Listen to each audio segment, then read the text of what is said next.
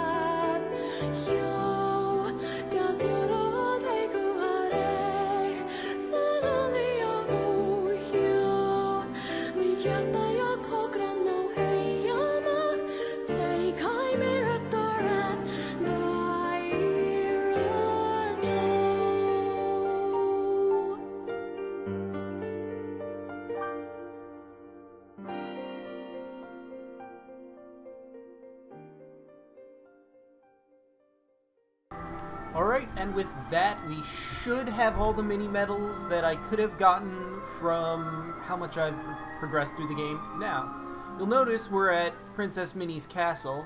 I figured I'd turn them in to end this episode off, because, you know, why not?